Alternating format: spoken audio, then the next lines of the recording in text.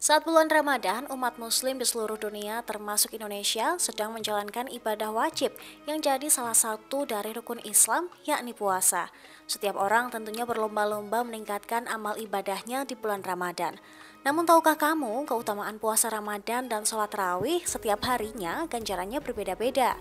Keutamaan hari ke-18 puasa Ramadan adalah Allah memerintahkan malaikat Jibril, Mikail, Israfil, malaikat pemikul arsy, dan Al-Karubin agar memohonkan ampunan untuk umat Muhammad sampai tahun berikutnya. Dan Allah memberikan pada kalian pahala para syuhada badar. Sedangkan hari ke-18 sholat tarawih juga memiliki keutamaan sendiri, yakni seorang malaikat berseru, Hai hamba Allah, sesungguhnya Allah ridho kepadamu dan kepada ibu bapakmu.